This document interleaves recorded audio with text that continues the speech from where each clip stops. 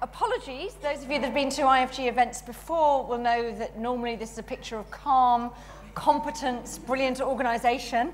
Um, we have had a text from the President of Mexico saying he was slightly surprised so many women wanted to turn out and see his parade down the mall. Um, and sorry, that is partly the occupational hazard of, uh, of our location. So sorry for our slightly inadequate risk management around that, but it's really good to have all of you here. And absolutely delighted that finally our panelists have made it through the obstacle course we uh, set them. And so I'm really delighted to announce, uh, to introduce our three mentors today. So on my immediate left, we have Margaret Mountford, uh, who certainly I think is a um, fantastic role model. I think The Apprentice hasn't been the same since, uh, since she left. But anyway, she's a former lawyer, a corporate finance partner in Herbert Smith, now has a wide range of non-executive directorships, chairs the Argent Group Europe, and is also, uh, I think, chair of the Bright Ideas Trust, a charity which helps young people starting their own businesses. And she's also think, on the board or chairs two schools. Anyway, so uh, she's also a member of the advisory board of Westminster Business School and was actually only on The Apprentice for five series, which I find very hard to believe. But anyway, we're absolutely... Like a lifetime. I'm sure it seemed like a lifetime. We're absolutely delighted to have Margaret here with us. And then on my slightly further left, we have Clare Moriarty. Um, although she's DG Rail, we probably can't blame her for the hold-ups uh, in getting here today. So Clare will take your rail questions outside. Um, but the reason that we've asked Clare here is when I was asking people who they would uh, recommend, uh, one of the people I'd emailed asking actually someone else had a recommendation, said, well, Clare Moriarty is my mentor, and she's really good. Mm -hmm. So we thought that was a very good personal recommendation. So Clare has a particular interest in mentoring and mentors both civil service colleagues, but also is a mentor for the Women in Rail group. I would have thought that's about two people, but anyway, but we'll find more out about the Women in Rail group. And then finally, and probably most affected by the uh, trying stay, is Peninah Thomson, who is Chief Executive of the Mentoring Foundation. She's got a massive career. I suggest you Google her and find out exactly everything she's done. Uh, she manages the FTSE 100 cross-company mentoring program. She's also published four books and uh, numbers of articles on all this and was awarded an OBE for service to women and equality in the Queen's Jubilee Honours, which, in case you weren't paying attention, was in 2012, which was probably the last time we had disruptions on this scale. Now, we're not going to have intros from the panel, uh, whatever we're going to draw on questions. Now, we asked some people to post questions in advance uh, to mentors at instituteforgovernment.org.uk. If you want to tweet, there's everything there.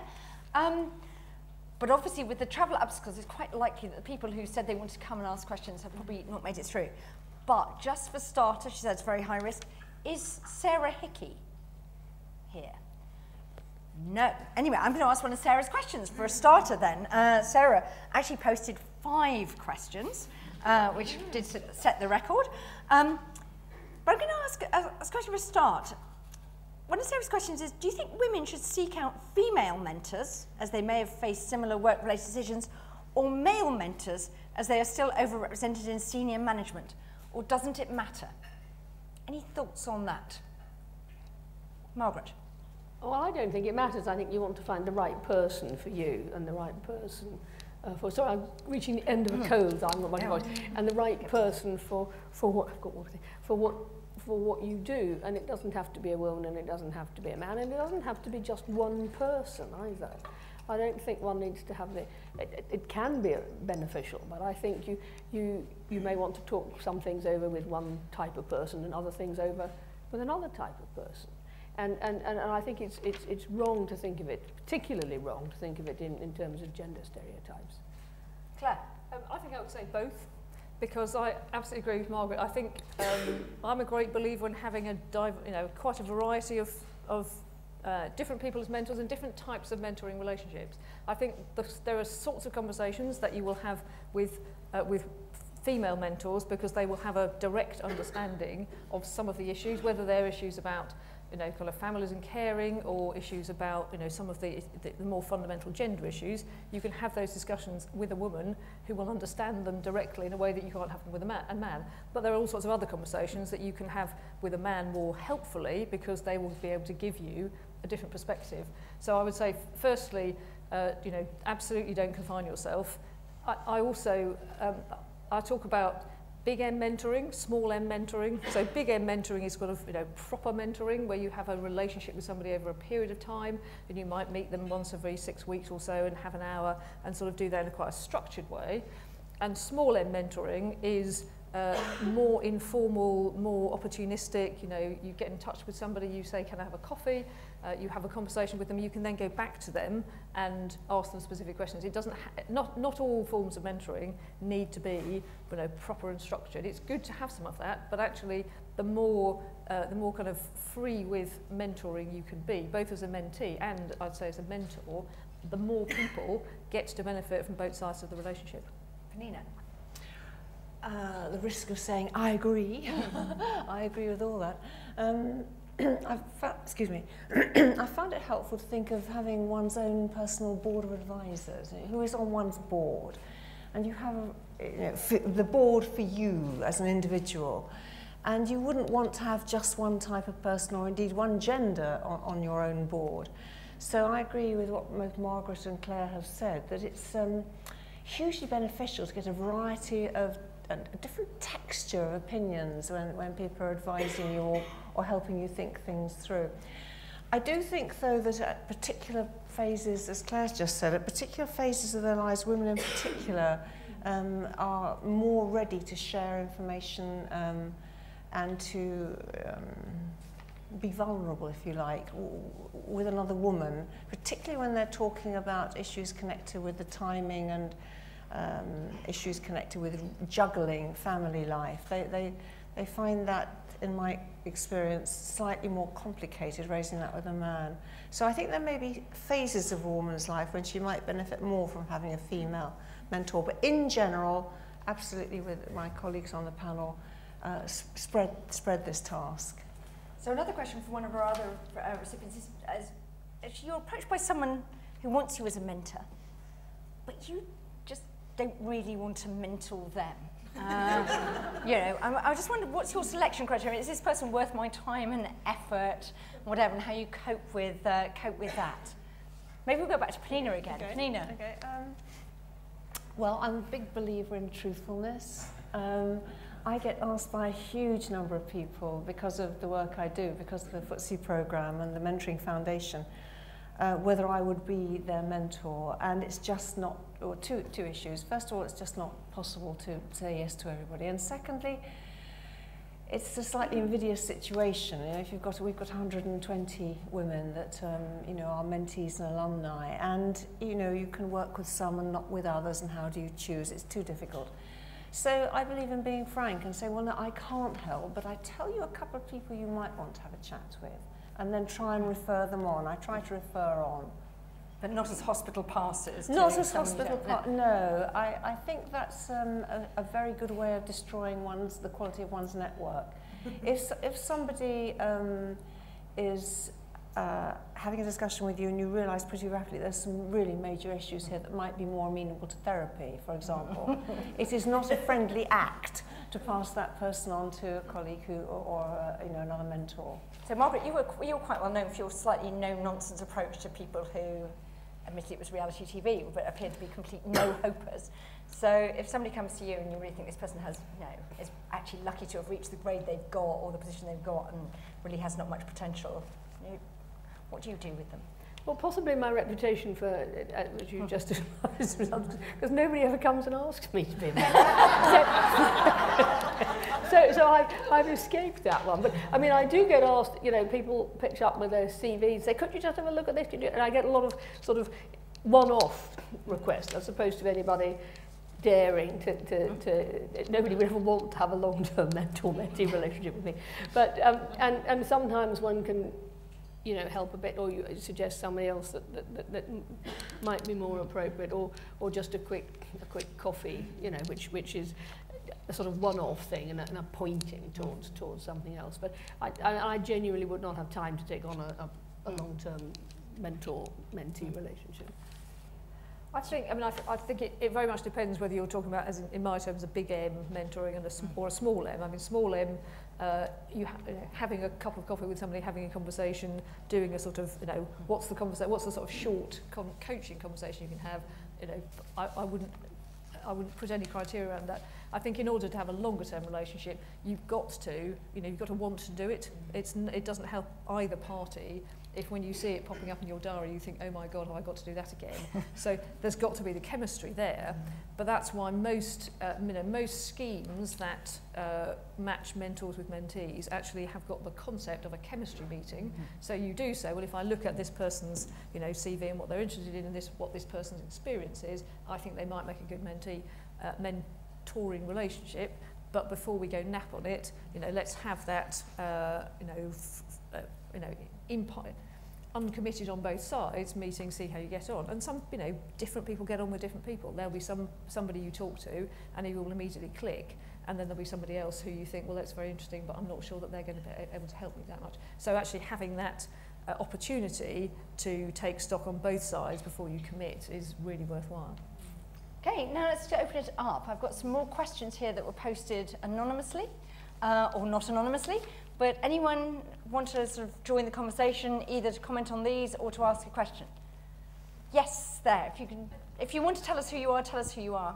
Hi, I'm Sam Dowling. I'm the uh, comms director for a membership body representing GPs, but I've previously been uh, a member of staff in but not of a number of sectors, including the civil service, and worked as a journalist. And so my question is about transient workers like myself who may spend a year, two years in an organisation and move on. Um, I welcome the concept of mentoring, but question how, if you're outside a, an environment that formally supports it as part of your career structure, so the civil service, it's also very commonly mm. found in the third sector. For those of us working in the private sector and jumping from one area to another without the formalised links, how would you suggest we access mentoring? And um, the question about busy people, the more senior you become, it becomes very mm. challenging to be able to approach people to provide support mm. without maybe undermining or being mm. perceived to undermine your professionalism. So two questions, I think, but um, I'd be really interested in your responses. Peninah, I think that's a nice one for you to pick up about, you know. Can I, can I start with the, your, the first of your two points? You know, as I, as I understand it, what you're saying is that some individuals are uh, leading a more portfolio life, jumping between particular activities, so how to access somebody who's outside a given framework. Um, I think it kind of links back to something Clare said earlier. You, it's back to your big M and little m mentoring, isn't it? I, I think if you go, as I'm sure you do, to lots of talks and events and seminars, and somebody starts to speak in a way that you think, I could learn from that person, then I'm a great believer in seizing the moment and asking. The very worst that can happen is that you can be rejected. And, you know, if you've got a reasonably healthy ego, then you're not going to be devastated by that. And if you couch it lightly, you know, would it be possible for me to have, a, as, you, as Clare says, a cup of coffee with you or a quick 10-minute chat? Most people will say yes. So be opportunistic and be willing to be in, and my second recommendation is look for the people that inspire you. If you go to something and somebody speaks in such a way that you think, God, I could really learn from him or her, then, then act on that and approach them in, in, a, in an understanding and non-demanding way and see what happens. I'm afraid you had to remind me of the second part of your question. So that was the first part. Um, it's similar but different. So as you be louder, but um, as you progress through your career, um, revealing some insecurity about myself, possibly, but it, there is sometimes that question of if you're asking questions that um, that you would like some assistance with, you're seeking counsel, mm. it's sometimes quite tough to know until you've done the sounding whether they're the obvious questions or not. And that comes back to having a structured mm. rather than an informal process. The informality of approaching someone can sometimes make you feel a little wrong footed. So I suppose it's just really are there any suggestions about forums to explore mentoring beyond the ad hoc approach? Beyond the ad hoc approach. Um, well, if you belong to um, professional bodies or if you belong to you know, something like City Women Network or, or, or its equivalent, there are so many networks now, then that might provide a kind of surrogate structure for the organisational, um, professional related structure that, that um, people in organisations can benefit from. I suppose I'm pretty intuitive in my approach, really. You know, I, I, I, I just keep my ante- well. If I look back to my career, what's happened with me is I've uh, I just known when I've actually wanted to benefit from somebody's wisdom, experience, advice, wise counsel, hints and tips. You know, sort of avoid this, go for that, and I've approached them uh, wherever I've found them actually, both within the organisation and referring back to an earlier question, and out with it. You know, in, in other Um, thinking about one's personal board is very helpful. Who do you want on your personal board? A variety of people, some within the structure, some deliberately outside the structure. And, and follow your instincts, you know, fo follow where you're, you, where you're, if you're intrigued by a human being, and want to learn from. I, I've actually approached, there's a chap called Donald Trelford who used to be deputy editor of The Observer when I was a sprog, when I was about 23. He, he wrote a very interesting piece in The Observer I can't remember about, but it moved me and I thought it was wonderful. So I wrote him a letter and told him how his letter had affected me. He invited, I lived in High Wycombe, and he invited me to have a coffee in London. Uh, now, that may not sound a big deal to us all sitting here in the centre of London, but when I was 21, 22, and living in High Wycombe, it was a big deal. And I met the deputy editor of the Observer, and a whole lot of things flowed from that. So I'm a big believer in following one's instincts mm. and acting on them. So that relates to another question we actually had posted earlier, which is about, um, it sounds like picking up people. But anyway, um, maybe Clare or Margaret, do you have any tips for how to meet people and make lasting contacts at work events? With big groups where you don't know anyone. Two little shy retiring wallflowers here. So what's your, what's your approach for um, making contacts at work events? Do you hand out your card or? I have to say, I'm not good at this. Um, I think it's a difficult thing to do. Some people have, you know, buckets of confidence and are very happy to walk into large gatherings full of entirely unknown people and hand out their business card. I can't do that. Um, I think, I mean, I'm much more in, the, in the sort of space that uh, Paulina's talking about, where if there is, if somebody has said something that you know, really does, where I, where, where I can genuinely and authentically say, that really meant something to me, it really made me mm-hmm. think about something else, I can make a connection to something I've done in, in another area, I'm quite happy to initiate a conversation on that basis, and if I pluck up my courage a bit, then to say, the, and could I have a, com, uh, could I have a, come and have a, you know, a conversation with you. So I think that, you know, it's the, it's rather than trying to do something huge and mm. flamboyant, now what's the small step that you feel able to take that builds on the space you feel comfortable with. Um, and you know, so do one thing. Don't try to walk into a, a, a room and you know have everybody falling about going, here's the person I must see. But find if, if there's one person, if you can make one mm. sort of properly personal connection and properly grounded connection with one person and find one way of following it up, one of the things that really good mentors do in my experience, and I always try to do it for people, is to make the next set of connections. So if, if somebody does the, can I have a cup of coffee with you thing to me, I say yes, very happy to. And I'll have a cup of coffee, I'll try and tease out a bit about who they are, what they want, what it was that mm. made them think they might have a, want to have mm. a conversation. By the time I'm halfway through that conversation, I will have some clues about things that they're interested in or you know the places they might want to work and I will be ticking over in my mental Rolodex about who might it be useful for this person to talk to next. And normally I will finish those conversations having promised uh, to contact one or two other people and say could this person come and have a conversation with you? So it's the you know it's that it's that way it's, it's making connections through a sort of series of small steps rather than trying to do something in a huge big bang. Margaret any I used to hate it in the city. used to go into those rooms full of people and used to think, I'm the only person here who doesn't know anybody. Uh, you can always look around and find someone who's standing on their own and go to them and they'll probably be terribly pleased to talk to you. And then it will just, it will just grow. The other way to do it is to go on something like The Apprentice, because then people say, oh, you're on The Apprentice. but they are you normally the sort of people you don't want to talk to. So that, that, that doesn't, you know, hasn't, hasn't been successful. But I think if you can just have a, any of these events, which can be terrifying, you know, if you have a really good conversation with, with one person, and, and just um, on Peninah's point on, on you know, who would you like to have on your personal board, which I think is, is a great analogy. Are you on that board? because, or are you being governed by that board? Because I think one can get an awful lot of benefit by chatting things over with someone who is your contemporary, your equivalent, at your level, whatever, whatever the appropriate term is, or a friend who isn't in that business, but just you know, a mate that you don't mind unbearing your soul in front of, who will say, no, I really think it'd be crazy if you did that. You know, do, so, you know, so you, you, I think, you know, are you on the level with this board, or are you thinking of yourself as below it, asking a whole lot of terribly senior people, you know, for directions? Yeah, Can really, really important point. Uh, and I, I just want to say a couple of words about the, the concept of reciprocity. Because for, for me, in all the sort of relationships um, that are being described, one of the key criteria or indicators of authenticity, lose Clare's word, is people's willingness to throw the ball back. You know, it's, it's not, I am very chary about people who just want to take from you because when you're in a position of any sort of authority and seniority, there are some people who sort of just all want a bit of you and you can get very depleted by just people taking from you the whole time. What is what wonderful is when you work with somebody or talk with somebody and they say, that's been incredibly helpful. I wonder if it would be helpful to you if, and then you have a kind of spirit of exchange, reciprocity that is much more, coming to Margaret's point, much more equal.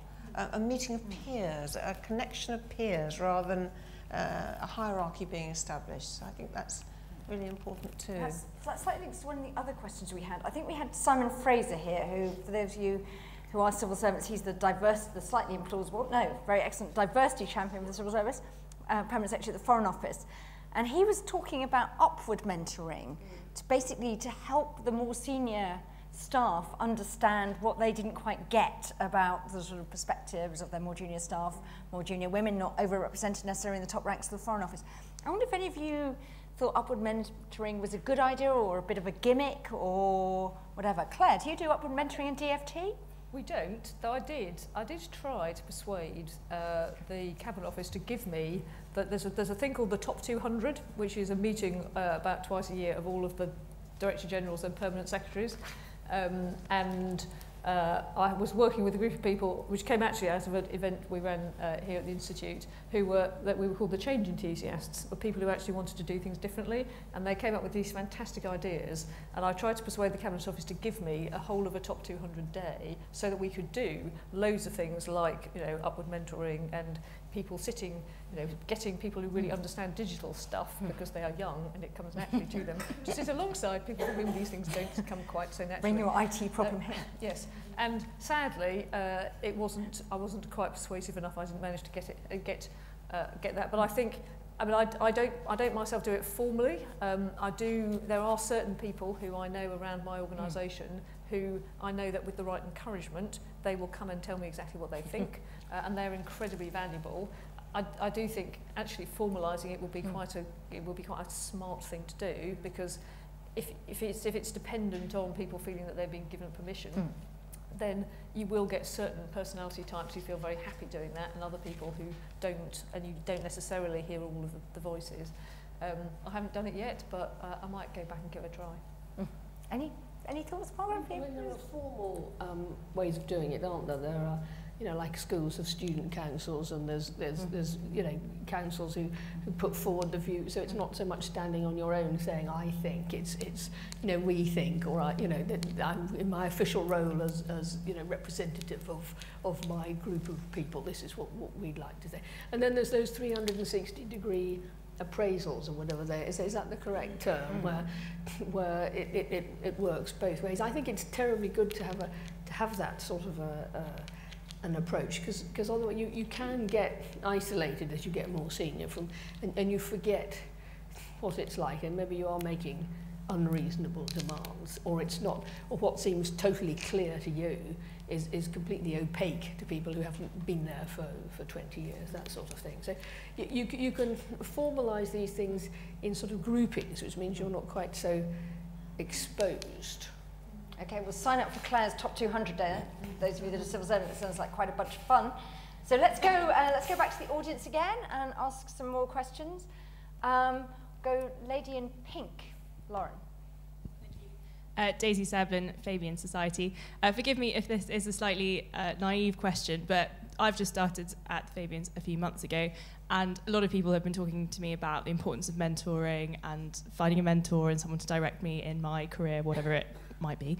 Um, I'm wondering what should what does a good mentoring relationship look like for the mentee? What should you reasonably expect from that? Um, and also, what does a bad uh, mentoring relationship look like so that I can look out for it?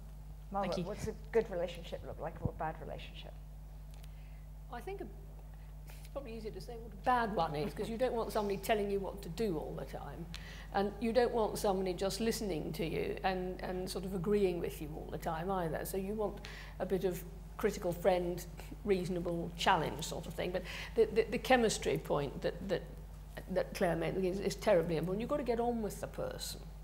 You know, because they, they won't really see things your way unless you can get on with them. And, and they need, I think the mentor and mentee need to be able to see things the same, certainly the mentor, see where the mentee is, is coming from and understanding that and then seeing in, in the broader sense, well, is that the right way to approach this or what are the obvious next steps or, or is this actually completely the wrong place? And the, but the mentoring that I see through the, the Bright Ideas Trust, which is, is very different from this hmm. sort of level, and there's, a, there's, there's, there's a big difference between someone who's just starting out in a business on their own, which is what we have, getting help from somebody who's actually been there and and done it and helps them avoid hmm. the, the pitfalls of having to reinvent the wheel all the time.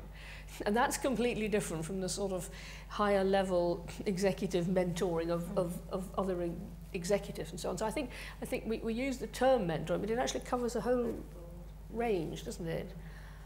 So any other thoughts on good or bad? Good or bad? I can't, I can't speak about bad, um, but I can throw out a couple of thoughts about characteristics of, um, or some things that help in, re in regard to our mentoring programs. And one of the things, I'll just mention one thing, is that we ask each incoming mentee uh, to provide us not only when they've been nominated by their chairman, not only to provide us with their CV, which is the story of the past, of course, but also to write a single page of A4 that is their personal statement. Um, one of the chairmen suggested this, and it was an excellent idea. I can claim no credit for it. He suggested this, and he said, well, get each incoming mentee to write a single page of A4 on which she um, divided into three equal components. The first third of the page should be on why I want to be on the FTSE 100 cross-company mentoring program, because it's not adequate simply to be nominated for it, say, well, I've been nominated, that's why I'm here. Not good enough. What it, we need to understand her intent. What is her intent? Why does she want to be on this? Why is she doing it?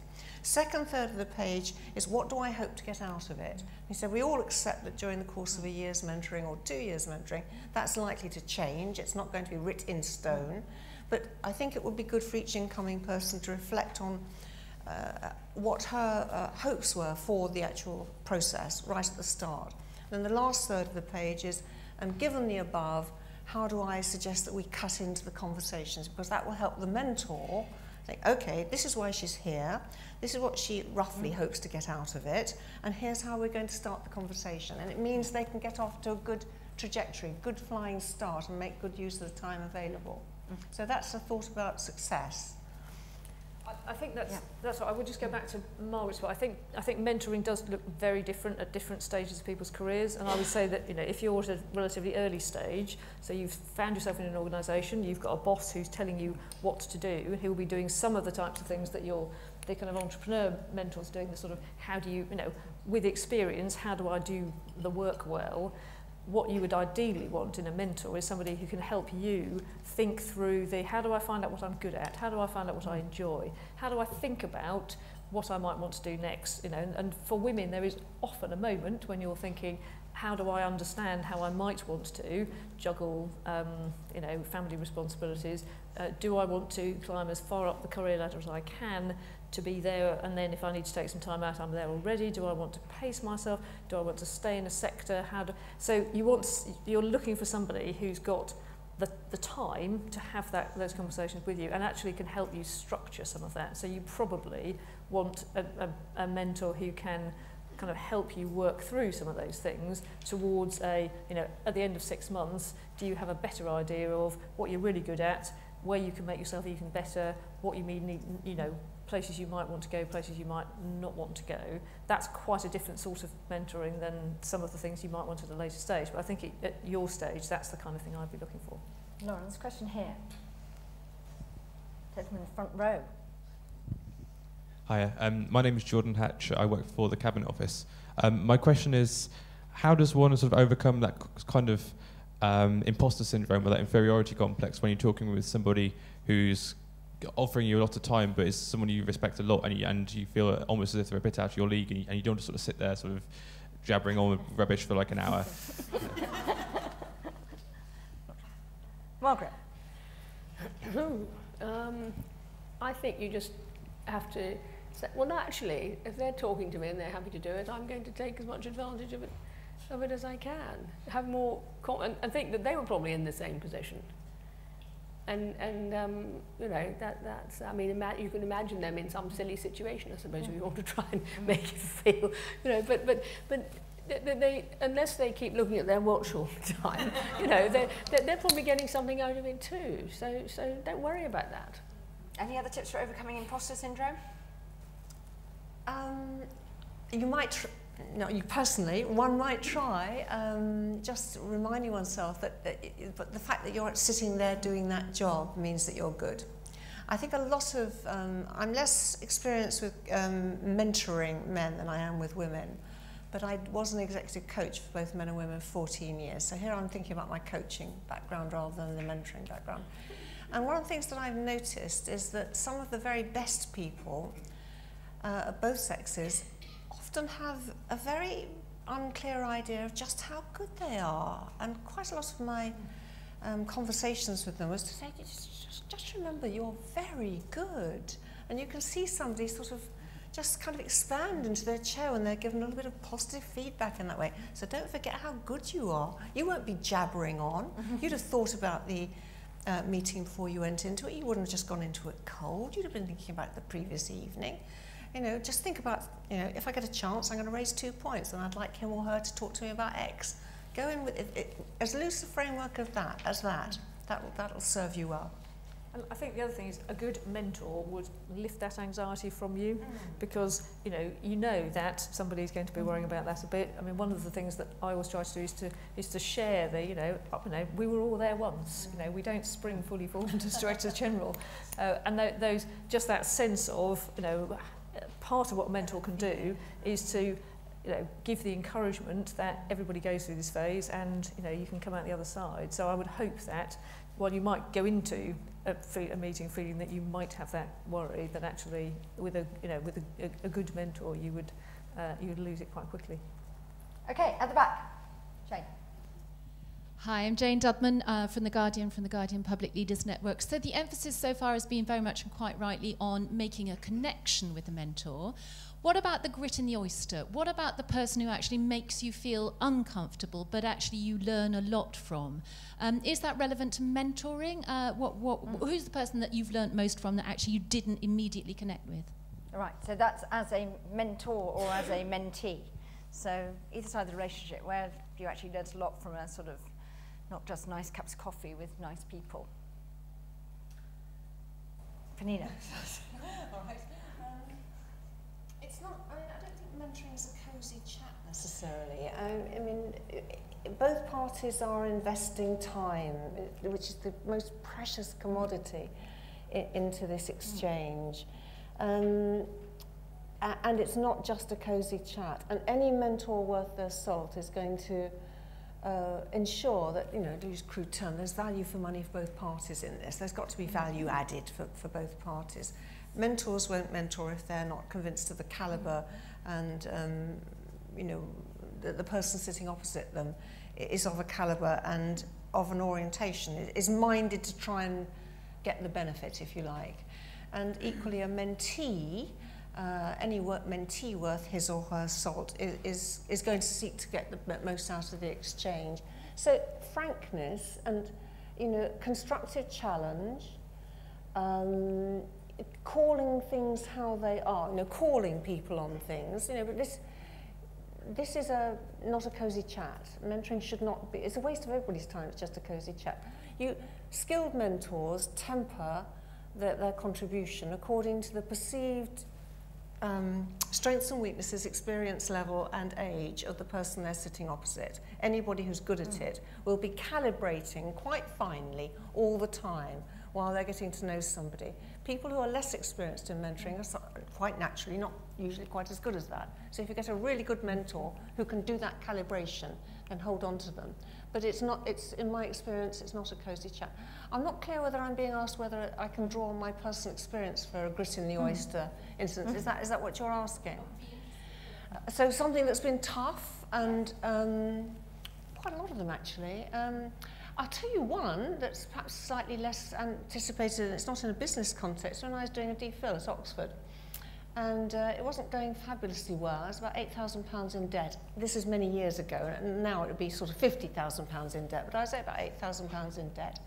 Um, I'd used my NATO pension to fund this DPhil, you know, coming back as a mature student. I was 38, and I'd taken a bit of a wrong turn, I think, in retrospect, you know, because I, I'd given up extremely good job, tax-free salary, salary, flat in Paris, all those good things, to explore the theme of civil war in some English and French drama between 1572 and 1614, which seemed like a great idea at the time, uh, and I don't regret it. But I had just realised that when the government talked about new blood for the universities, actually they didn't mean people who were 38, they meant people who were 26. And this light had dawned. I was a bit slow on the uptake. And you know, you don't give up a DPhil at Oxford or Cambridge easily. You know, that- that- And I was absolutely agonising about this. What on earth to do? How quickly could I finish it? How much debt should I take on? And I went to talk, I won't name him, I went to talk to not the head of my college, but the head of another college. And I faffed around, I really did jabber, I faffed around trying to get the words out that I thought I'd taken a wrong turn and what the hell should I do about it? And he said, I'm going to pour you a glass of sherry. They did that in those mm. days. I'm going to pour you a glass of sherry and then you're going to tell me what the problem really is which really made me wriggle. Mm. And he came back with said glass and he said, now, what's really going on? And I said, I think I need to stop doing this DPhil. And I you know, whoa, had a good, jolly good cry. And he said, you know what? You can stop doing this. It's perfectly all right. So that was a mm-hmm. very tough discussion mm. for me, but he, he helped me focus on what I really wanted. He forced me to get the words out. You know, I've taken a wrong turn. Mm. It's a cul-de-sac. It was a mistake. Everyone told me it was going to be, uh, and I was wrong, and they were right. And then he sort of dusted me down psychologically, and I said, okay, now go away, and in three weeks' time, come back with a couple of good ideas about what you might do next. How good is that?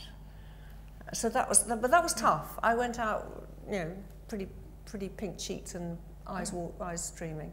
So Clare Bar- Margaret, can you trump Peninah's story? or shall we end on that high? PhD's definitely finished.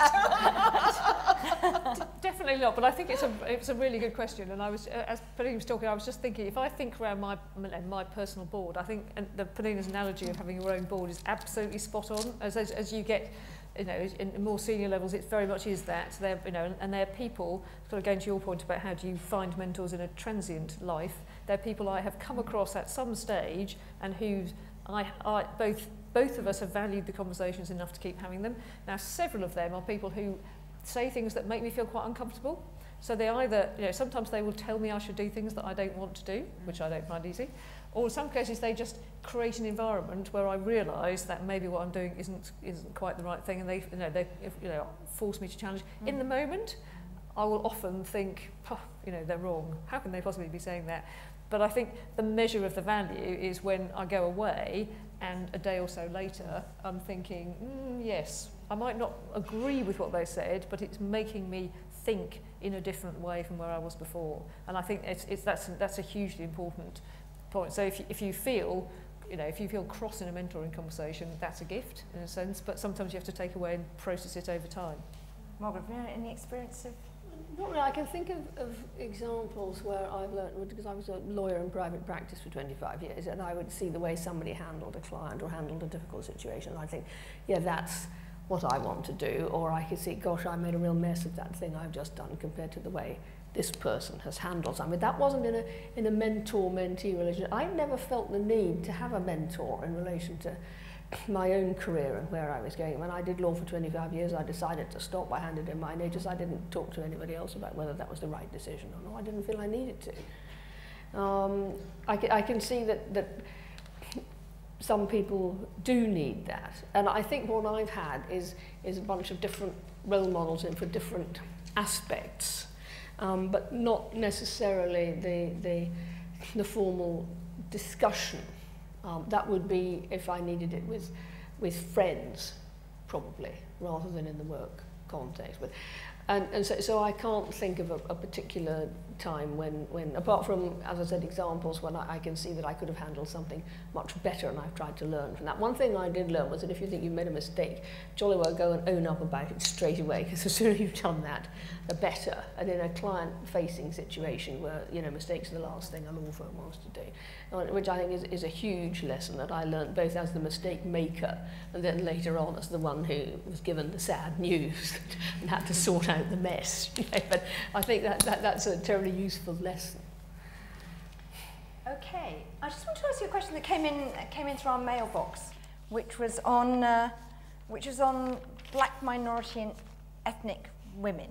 Um, so, if you look around, uh, say the sector, you know, Clare and I know best, it's senior civil service or politics, or there, there aren't um, corporate. There aren't actually very many role models. The sort of few sort of black minority ethnic women men who've made it to the top must be inundated with requests to be a mentor to somebody, etc., etc. And that's a massive burden. So what actually sort of do you think uh, could do? Maybe Clare, take this up sort of proactively. I think the civil service now has an action plan around black minority ethnic people getting to the top of the civil service. What actually can people at the top do to make it easier for people to aspire to the top roles and actually help them get there when there aren't obvious people who can say, well, this is how it was for me, and you know, have the conversations from exactly their experience? I think that's a really good question because, uh, as we were saying before, I mean there are there are some conversations where it's much you know, it's a lot easier to help somebody understand what they're going through if you can relate back to to what they're doing. Um, but I think you know, as you say, there aren't enough uh, there aren't enough uh, black and ethnic minority people, particularly women, at senior levels. So, you know, what's the what's the next best thing is to is to use, I suppose, particularly kind of coaching type techniques to get people to recognise what they know already. Um, because one of the know, one of the things I found in, in sort of normal work as well as in mentoring is that mostly people have the answers to questions themselves, but they may not, they either don't realise that or they don't feel confident owning those answers. So if you can, you know, where you can say, look, I was in a hmm. similar situation and this is what I found, that can be quite helpful because people can go, well, I might or might not want to do the same. If you can't, if you haven't got that mm. relevant experience, I mean, A, you've got uh, certainly things which are very relevant. So, you know, the experience of women is is you know, has many similarities, whether you are a white mm. woman or a black and ethnic minority woman, so you've got lots of points of contact there. But if there are things that you just don't understand, you have to ask people to tell you about them and then, you know, and, and try and kind of tease out uh, what people can do for themselves. Because I think there is a, you know, you know, we can all do more for ourselves than we realise. And part of the, uh, the, you know, the, the beauty of mentoring is that it's somebody to help you uh, realise that for yourself and feel confident to act on it. But if everybody mm. needed somebody like that, we'd never have had Patricia Scotland as Attorney General. We'd mm. never have had Brenda Hale Supreme Court. We'd never have had Ros Higgins as President of the International Court and We'd never have had Margaret Thatcher as Prime Minister. Um, you know, you can't always... There's something wrong with the mentality that I can't do this unless somebody who is a sort of identikit version of me has done it. Sorry. Peninah really interesting one. Um, people like Vivian Hunt, the managing partner of McKinsey, who, who is uh, African American, uh, people like Sharon White, of course, and I've just become chief executive of Ofcom. Um, they're in massive demand um, for these mm. type, the type of events that mm. you describe, and, and quite beyond their ability to fulfill all the requests for um, seminars and uh, you know, coaching, mm. mentoring, speaking on platforms. Mm. It's a problem, isn't it? Because um, I agree, nobody, uh, there isn't a prototype of, as it were, me. I quite agree with that. But I think there is something, and in, in one of my books I've written about this, about the power of visibility, actually seeing, uh, envisaging uh, being able to look at a person and thinking, actually, they can do this. They're like me. I can do this too. That I, do believe that exists, and our mentees tell us that it is the case. That when they look up to organisations and look um, towards EXCO or the board, and they don't see very many women, then it is an impediment. So I think the lack of um, black and minority ethnic role models is an issue. I think it's a, an issue. I don't actually have an answer because these people are, in as I say, in extraordinary demand.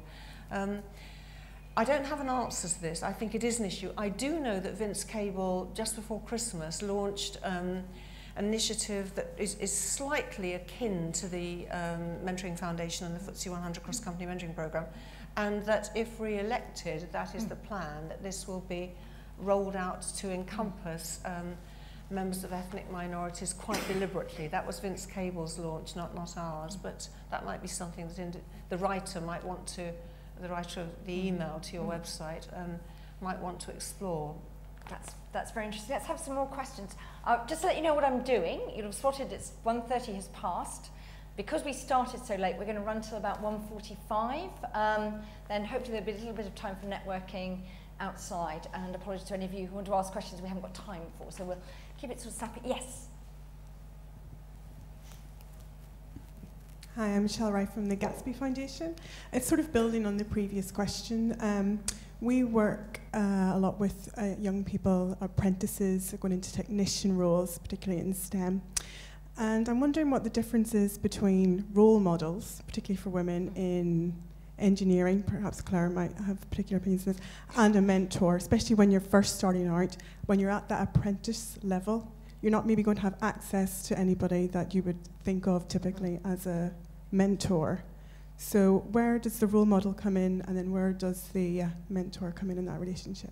Margaret, you, did, you do work with sort of young people. Do you want to just talk a bit about how you sort of get them to sort of see their future in the bright well, Ideas Trust? Well, well, our ones tend to be ones who come who want to start up businesses on their own, often because um, so, some have been in employment and they decide they want to start up on their own, but a lot haven't been in employment. And actually, this is their their way to, to, to be able to mm. pay their way, which, which is, is and they need a lot of help because it's much easier to know to how to how to run a business if you've hmm. worked in a business than it is if you've never worked in a business as some of them are. So that is a bit different from apprenticeships. And what we find that these one, the kids need is, is a lot of help um, initially in terms of just, just thinking about the things that they need to think about. Um, and as they go on, a lot of accounting help often, and, and that you know, just because you haven't had an electricity bill this month isn't a good thing necessarily, because you, you, you will get one at some point. And, you know, it's very, very mm. basic things like that that people don't realise if they haven't had to do that, which is completely different from the, you know, higher up the career path. But I think apprentices tend to be, um, there's probably a cohort of apprentices, and just, you know, among themselves they can probably get help. And apprenticeship programs should have um, built into them, uh, you know, the, a sort of mentoring aspect, a coaching aspect, whatever it might be mm. called at, at that level, because they shouldn't just be, you know, sent off with a, with a sort of toolkit and a, you know, an instruction manual and told to come back and you've learned this bit and you've made that widget and then we'll move on to, on to the next thing. So Clare, the civil service introduced this new apprenticeship scheme, yep. hasn't it? Which it sort of keeps on touting around on Twitter as the sort of next best thing or the new best thing. So actually, what sort of support do they give their apprentices, or is it a sort of good, you're an apprentice now? Well, come our, back in 30 um, years' time when you're a permanent secretary. I mean, how I does mean, that? We've, we've got some apprentices. So we've got apprentices who are, I mean, they are embedded in teams. So they work, uh, they work you know, as part of a team delivering something. So I don't know. It's an interesting question about whether the package in, includes uh, you know, a formal mentor, but certainly when I, we, we had, a, we had an apprenticeship day for all the apprentices in Department for Transport, and their line managers clearly regard themselves as having quite an important role in terms of you know making sure that they've, they've you know they're getting access to the right things. So I don't think, I mean, there's no reason why uh, apprentices just because of you know where they are at the stage they are in life shouldn't have mentors. They might want a different type of mentor than some of the people in this room, but you know, the, the essence of a mentor, which is tends to be somebody who's, who is outside your immediate line management chain, but who can help you think about some of the broader issues, can give you a different perspective. Uh, you know, you're not instantly thinking, well, if I tell this person that, will it turn up in my end year review? I think there's absolutely no reason why we couldn't and shouldn't be making sure that you know, all, apprentices, all apprentices uh, have mentors as well. Okay, we've only got five minutes left, so I'm going to just pick up, let's just harvest questions, and uh, the panel can choose which ones they answer, she said. Um, hopefully they'll answer all of them. So we've got a couple down here. Anyone else in a last call for comments or whatever? No? Yes. Okay, I've got a question. I think probably lending towards what Mar Mar where Margaret's been coming from, but I feel like I've got to where I have in my career so far through a thing of hard work and serendip serendipity. And it feels like I'm not, I've not, not had a mentor because I've been in the private sector. I've just moved over into the public sector. I could never have anticipated the job I'm in at the moment. Um, it was the vision of my boss who saw me apply to another role and gave me this one instead. And I guess it's just what do you think a mentor could have offered, given I've never really had a long term goal? I've always just been, my goal has been to do really well at what I'm doing at the moment and then figure out what next when I get bored. So you couldn't have filled out Peninah's form, really? yeah, whatever, I don't know. Anyway, yes, okay, yes, Sukhvinder. Yes, hi, Sukhvinder. Um, this is something I noticed when I was on the board of Severn Trent Water and I was working with a number of the senior women then there trying to help them to step up. And actually, noticing it even more now. I, I, I continue to mentor a number of, of senior women across different uh, sectors. And what I'm finding is that there are quite a growing number of women who are choosing to take a sideways uh, move, and they say that they're going, that they're getting more learning, uh, growing more, actually getting more challenge from that, uh, rather than continuing that upward trajectory. And I, and I'm wondering whether this is something to be celebrated or commiserated. I mean, what's, what sort of advice would you give to a woman who feels that she has to choose between, you know, continuing to push upwards or actually finding more enjoyment uh, working uh, sideways? Okay, any sort of final reflection? We'll do the panel in this order. So, Peninah, do you want to, do you want to kick off with the person whose career is a random walk, but a satisfying random walk, and the person who's wondering whether to go upwards or crossways or whatever and should basically is the going crossways a bit of sort of opting out and giving up should the mentor be persuading them to look a bit upwards? Okay perhaps I could um, focus on the, the issues you just raised. Um, mentoring is essentially about human development and growth and people develop in different directions, sometimes um, in quite unexpected ways to what they might earlier on in their career have anticipated. And there isn't, you know, there isn't somebody telling you what to do. It's helping people find their path and be fulfilled and fulfill their potential, however, however they describe that. Um, so that's, that's essentially my answer, that, that mentoring is a human development activity. Um, it's not, you know, it's not an organization or a company or a government saying, you know, this is, this is what it should be like. It's, in my view, helping people to actually reach their optimum level of achievement. So, and to be happy with that life that they've created for themselves, they have but one. And so if, if a woman or a man uh, is happy in role, would like to take a sideways move and not look for that upward tra trajectory, if I can say it, trajectory, that's a good word, isn't it? Um, that's absolutely fine. Um, that's absolutely fine. And again, I go back to my point that people develop at different times. Sometimes people sort of have their foot hard on the accelerator and want to get through some grades or some roles or to have different experience or to go and work in the Hong Kong office, whatever it might be. That's fine. Other times they actually want to relax the foot off the accelerator a bit. That's equally legitimate. Um, so there's a huge amount of personal volition in this and, and I think the best mentors are helping people find their path, their path, not my path or anybody else's mm. path, their path. And if that's a sideways move, that's absolutely fine or foot off the accelerator entirely, that's absolutely fine. So Clare, did you always have a cunning plan Um, that you were going to be DG Rail? Funnily enough, no.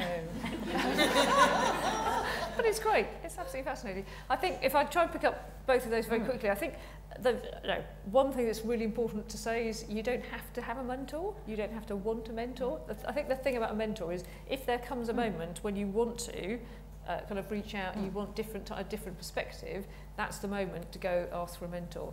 If you don't feel the need for one, then you probably don't have the need for one. And, and one of the issues is people saying, I think you should have a mentor, which tends to mean, I think I want you to be doing something different. Uh, so, so think about, you know, do you want a mentor for you or have you been told? And if you've been told, is that because somebody is shying away from giving you a different message? But I think you know, the moment when you want a mentor will occur to you. It'll be when you want to go ask. And, but I think the, the, the idea of, of the personal board, the people who give you wise advice, is actually, uh, is, is actually very important. And I think on the point about people going sideways, and one of the things I, I constantly say to people who I'm mentoring is it's all about choices. Uh, and the choices that you might make aren't the same choices that I might make. So I can describe to people the series of choices I made about, you know, particularly as my children were small and growing up, I made particular choices at particular times. And they were valid for a period, and when they stopped being valid, then I made some other choices. And the most important thing was they were my choices, uh, and when they, when they felt like the wrong choices, I changed them, but I changed them, you know, on the whole, because, you know, if you've got ch choices to do with having children mm. growing up, you've also got a family. So I made them in conjunction with my family. That, that sense of you know what works for me may not work for you and in any case what works for you now may not work for you in a short time so I think so I think from that point of view it's fine I do you know I think I could wax for hours on is it right that we are operating in a in a society in a workplace where actually a lot of women do feel that uh, you know, there is this choice to be made that mm. it isn't necessarily a full, you know, the workplace is not as fulfilling as it might be uh, because of the prevailing culture and all of that. I think that's, you know, will be another fascinating topic for another day. And Margaret, final word. Well, I feel like the third judge in the Court of Appeal just says, I agree. And one hasn't been paying attention at all. But I think, yes, everybody doesn't need a mentor, and you may well have found the right path for you without it. Although it sounds to me like the person who suggested that you do this job rather than that job may have been doing a sort of mentor role um, unofficially. And I, I think the, the, the opting out, I mean, I think it's great that there are all these other opportunities now. I mean, everybody cannot be the chief executive, can they? Because the thing is not going to work that way. And there's all sorts of different roles. It's a question for, you know, what makes someone feel happy and fulfilled. And some people can't conceive of not actually getting to the top of what they're mm. doing. And there's plenty of others who, who fortunately don't want to, to do that and who have a different style and a different approach and more time to do other things and so on. And, and, and it's great that, I mean, in, in the law in particular, where it used to be that everybody, you had to sort of, you know, and there's now a whole raft of professional support lawyers who, who, who do the job of keeping everything up to date with the law, It's much more interesting than having to deal with clients. But, but it, it's, uh, it, it, it's, you know, it, it doesn't have the same time pressures and so on, but it's a perfectly valid career move, and it's, it's good for everybody that there are those roles. And, and, and then you can change back to doing something different if you want to. So as long as you haven't found yourself in what you thought was a side road and turns out to be a cul-de-sac, you know, that, that's what matters. I think the government legal service wouldn't exist without lots and lots of very high-powered women lawyers deciding actually they don't work 23 hours a day in city firms or. Well, just think it was interesting and uh, whatever. Uh, it's a slight side issue. I want to do two things. First of all, I want to thank Ernst Young for their sponsorship of this event. This has actually been the last of this Women Leaders series that we've worked with our colleagues at Ernst Young on. Go back and have a look at some of the previous excellent events earlier in the series. But I'm absolutely delighted to announce there is a new series of IFG as Young Women Leaders, absolutely seamless transition. And on the 24th of March, we're going to have the first in our next series, which is going to be uh, entitled Women, Media and the Election. Uh, the subtitle was going to be, is it better to be ignored or patronised? Um, but we're not actually going to put that on the invitation. Uh, but that will be a bit of the sub-theme in the light of the pink bus, etc. Uh, so anyway, so that's with some sort of journalists, etc., etc. And then we're going to be developing the rest of the series over the rest of the year. We've got some very interesting and fun ideas in mind. If you've got any great thoughts, though, uh, do come and have a word with me at IFG or Gemma Williams from Ernst Young, who's there. Um, second, uh, we've got some networking time built in. That's a bit curtailed. Uh, if there's anyone who actually is another coach or mentor who might want to be available to talk to people and they'd like to make themselves known, if people want to mingle, there'll be coffee outside, I hope. Yes, Lauren confirms there'll be coffee outside. So we can't control the president of Mexico, but we can control the availability of coffee. So do stay and have a quick cup of coffee. And as I said, very many apologies to you who were trapped uh, there. But finally, could I just thank our absolutely terrific panel today for sharing all those insights and I think giving some really, really interesting tips, thoughts, and very supportive comments. So thank you, Margaret, Clare, and Peninah.